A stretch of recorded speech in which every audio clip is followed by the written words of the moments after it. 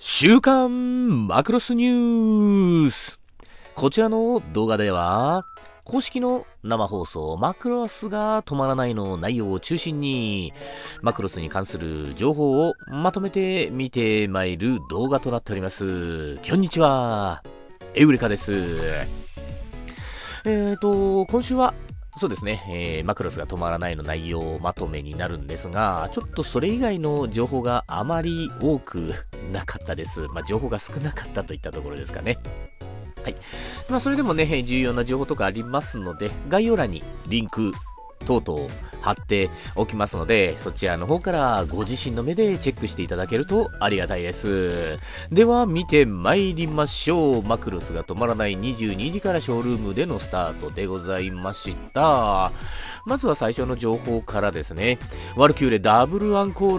ル2月、あ、間違えた。えっと、6月の5日リリースということでございます。まだね、えっと、2ヶ月先とはいえね、まだこの三田千里さんのね、書き下ろしイラストっていうのが発表されておりませんが、えとにかく早期予約キャンペーンっていうのはね、これ4月の25日まで、いや、でも、その、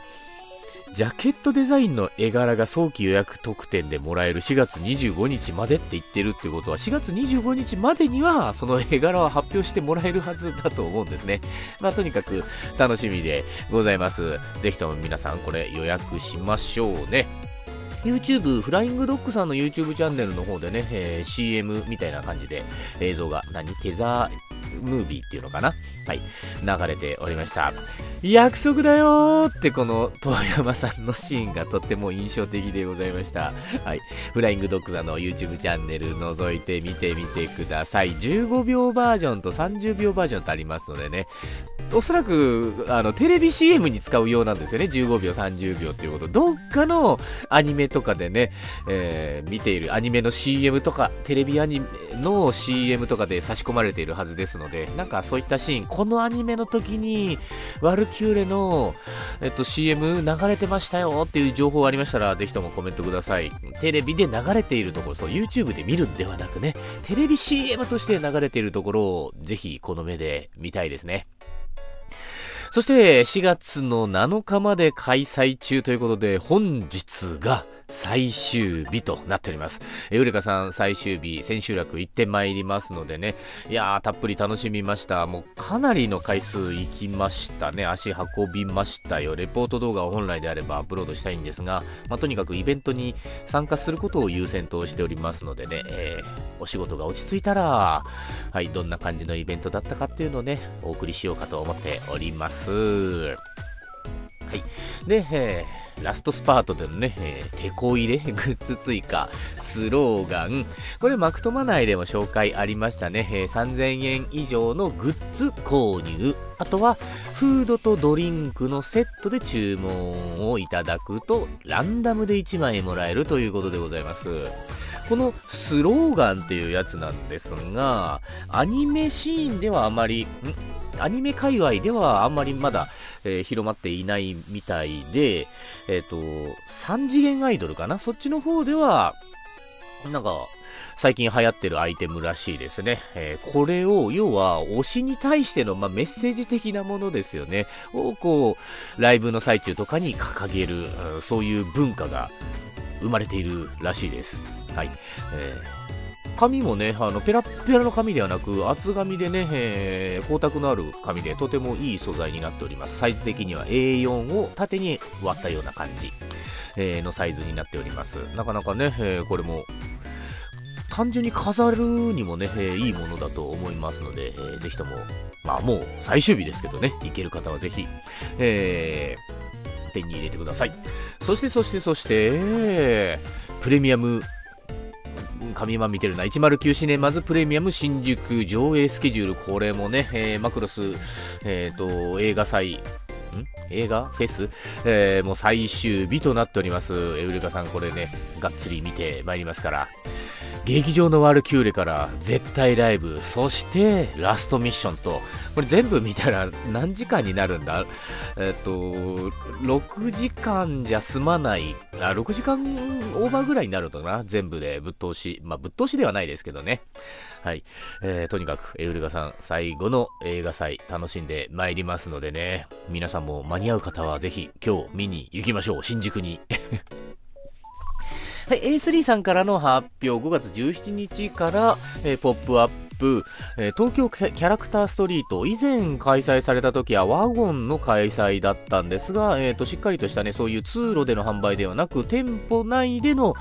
えー、コーナーを設けて開催ということです。東京駅、えー、一番プラザっていうところみたいですね。はい。可愛らしいエウレカさん、こういうチビキャラとか結構好きでございます。グラフアートとか言ってたかなはい。えー、こちらの方も、まあ、あの、ポップアップストアね、正直、後から入荷することもあるので、初日にがっつりって焦らなくてもいいんじゃないのかなって思うところもありますが、はい。えー、行ける方はぜひ、えー、行きましょうね。えー、で、これは一番最後のところでね、えー、提供のところで流れた映像なんですが、これも A3 さんのね、また等身キャラでの販売があるようですので、はい、えー、先ほどのね、え、東京キャラクタースクリストリートの次もまた何かあるという、まあ、儲かってるということですよね、きっと。マ、クロスグッズが売れてるから、まあ、これだけね、いろいろグッズが追加で販売されてくるっていう嬉しいことではありませんか？皆さん、マクロス応援のためにもね、ぜひともグッズ購入いたしましょう。そして4月の5日から予約受付すでに開始されております。何やらですね、まあ、売り切れっては、売り切れ、なんかおかしいよな。受注生産っていうのであればね、なんかその品切れっていうのもなくていいんじゃねえのかなとは思うんですが、はい、まあとにかくハイメタル R ファイヤーバルキリーちゃんですね。エウリカさんは一応 Amazon さんで、え予約することできました。で、今見るとね、そう、なんかもうすでに値段が釣り上がっているんですね。だから予約上限っていうのがもしかしたら設定されていたのかもしれません。なんかそこら辺ね、先に告知しといてくれればいいんじゃねえのかなと思いますが、だったらまあ抽選販売にするとか、あとはね、ちょっとこの購入リンクっていうのがめちゃくちゃ分かりづらかったので、まあ、とりあえず、エウルカさんが購入した Amazon のリンクは貼っておきますので、気になる方はそちらからチェックしてみてみてください。ハイメタル R ファイアーバルキリーちゃんの、えー、ポイント4つ。コックピットにバサラキュンが乗ってるということで、これなかなか可愛いですね。で、えー、ショルダー部分、剣部とおっしゃってましたね。スピーカー展開を再現。で、フェイスカバーを閉じた状態も再現。で、脚部ミサイル展開を再現。まあまあまあ、いろいろとね、えー、細部までこだわり抜いている商品ということでございます。楽しみですね。えー、予約はちゃんとできておりますので、商品到着が楽しみです。で、同じくこちらも4月の4日予約受付開始しております。とね、タイニーセッションに関しては、まあ普通に買えると思います。はい、えー、これもリンク貼っときますので。なんかね、コメントでちょろっと見、見かけたのが、これ YF19 にはミュンさんじゃなく、シャロンを乗せて、で、YF21 の方にミュンさん乗っけてくれたらよかったのになっていうコメントを見ました。うん、確かに、それすげえ確かにわかる。シャロンを、この、バルキリーさんに乗せるとしたら、やっぱり21じゃないんですよね。19の方、イサムさんの方にやっぱ乗せたくなりますよね。うん。まあ、果たしてね、YF21 がタイニーセッションとして出るかどうかはまだわからないですが、まあこれもね、応援次第でね、続々とね、次の商品、え出てくると思いますので、ワルキューレシリーズ、シェリランが出た後に、次来るのが、YF、え違う、VF19 回が来ますね。えバサラキが来て、その次がこのミュンさん、ウィズ、あ、間違えた、イサムキウィズ、ミュンさん。それ以降もね、いろいろ、このチビキャラとしてはね、ハヤテくんとかのね、えー、展示も昨年やっておりました、魂ネーションでもね、ありましたのでね、えー、売れれば売れるだけ次が出てくるはずですから皆さん購入しましょう。それこそね、あの、昔の話で言うと、ネンドロイドなんか、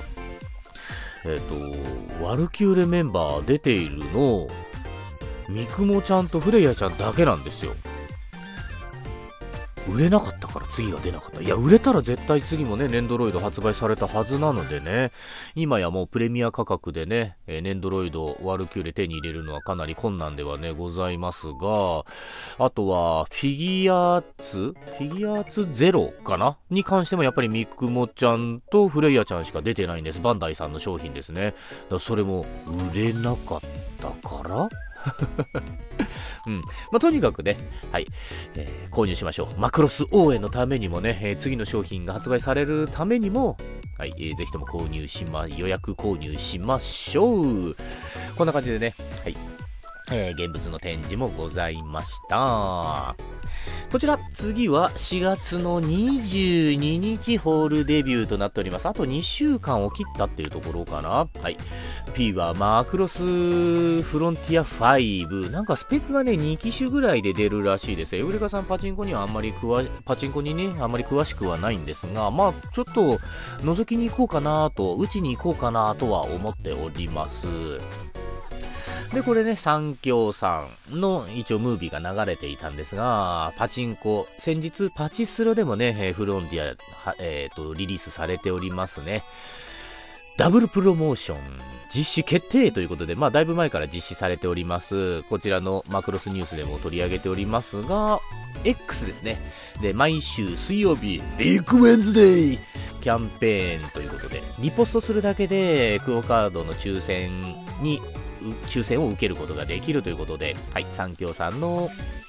公式 X チェックしましょうね。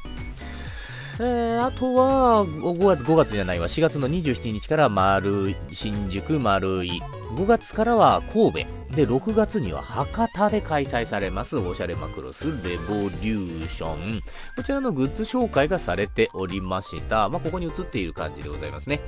アクスタ、アクリルキーホルダー、ちょっと後ろに寝かしてあるんですが、受注生産品のアートパネル、アートボードかな。これはね、えー、昨年開催されたアートボードに関しましては、昨年開催された100万、おしゃれマクロス100万石おしゃれ、うん。まあ、とにかく、エバダさんのデザインのね、2種、えー、展開されるということで、まあ、受注生産は焦ることはないと思いますので、ね、えー、ぜひとも、はい、えー、新宿まで足を運ぶ、もしくは、神戸、博多でもね、え、開催されますのでね、えー、ぜひともチェックしましょう。あとは、購入金額が5000円オーバーだ、3000円オーバーだったかな。で、ショッパーっていうのをもらえるみたいです。紙袋ですね。最近知りました、そのショッパーっていう表現。はい。えー、まあ、これもね、かなり大型のね、絵面で見ることができますので、えー、まあ、缶バッジとか、まあ、全部売り切れになっちゃったら困りますけど、あ、あとね、おしゃれマクロス、たまに、えー、旧おしゃれマクロス、過去に開催されたおしゃれマクロスのグッズとかもね、展開されるときありますので、まあ、言っちゃ悪いですけど、売れ残りっていったところですよね。まあ、そういった商品もあったりするので、なんか、あ、これ前にあったやつなんだっていうふうになんか気づくところあったら、そういったものもね、購入されるといいと思います。思いますで、このおしゃれマクロスレボリューション、新宿の入場に関しましては、えー、っと、予約制になっておりまして、それも先着、抽選じゃないんですよね。今まではね、なんか当日、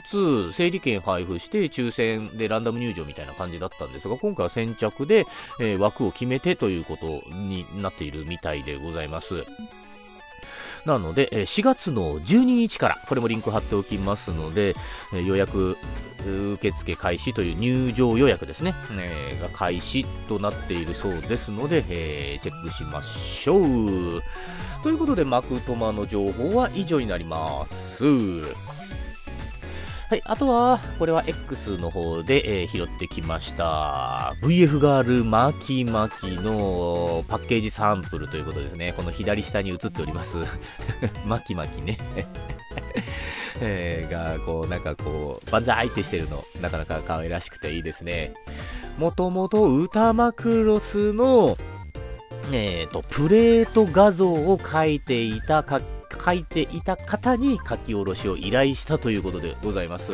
おそらくね、これ説明書に名前とかも載ってくると思いますので、いや、ぜひこれも購入しましょう。先ほど言いました、ネンドロイドは、ネンドロイドとフィギュアーツゼロ、ミクモちゃんとフレイヤちゃんしか発売されておりません。みんなが購入することによって、あ、ワルキューレ売れるね、次も作ろうとなりますので、VF ガールもぜひワルキューレメンバー全員出してほしいです。購入しましょう。予約リンク貼っておききますのでね、まきまき。VF ガール巻き巻きアマゾンさんで購入すると1万円割ります。はい。えー、9000円台で購入することできますのでね、安いと思います。もともとね、VF ガールで、えーと、アニメキャラとして VF ガールで一番最初に出ているのが、ランカちゃんでございましたが、ランカちゃんの限定バージョンとかね、1万5000円とか結構高かったんです。割引されてもね、1万2000円とかだったのが、1万円切りますよ、巻き巻きはね。えー、ぜひとも購入してください。こんな感じのね、パッケージアートになっておりますから、え最高じゃないですか。いいですね。もうこれを飾っておくだけでいいと思います。それだけでいいと思います。でもね、プラモデル自体ね、この VF ガールは本当に初心者、あの、ま、めちゃくちゃボリュームあるんですけど、あの、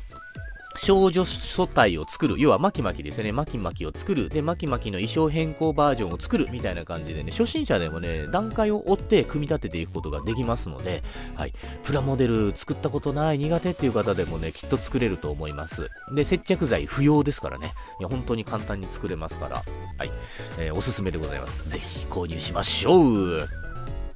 あとはこちら、コレイズさんというところから、えー、マクロスシリーズ新グッズ予約受付中ということで、これね、あのー、ぶっちゃけ言うと、もともとコスパさんというところ、コスパというところでね、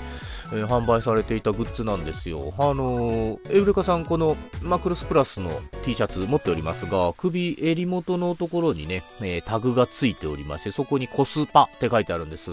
でも、コレイズ公式ってなってるので、コスパさんのアイテムをコレイズさんが販売してるのか、ちょっとね、そのタグがもしコスパさんじゃなくなってるのかな変わるのかなと思って、ちょっと購入してみようと思います。このマクロスプラス T シャツ持ってるけど コレイズさんで買ったら、襟元のとこがコレイズになっているのかどうなのか気になります。はい。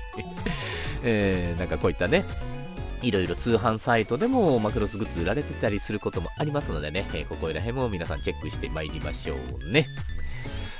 ということで、今週はマクトマ以外の情報はそんなに多くはなかったですが、まあ、とにかくマクトマ内の情報がね、かなり濃密でございましたので、はい、えー、ぜひともね、えー、皆さん予約、購入、忘れないようにしていきましょうね。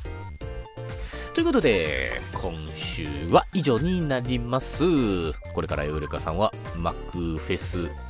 アンコール、そして、えー、映画を、ライブを、ライブ映像を見てまいりますので、ね、えー、皆さんもぜひともマクロス応援続けてまいりましょう。そうしましたらご視聴ありがとうございました。良い週末を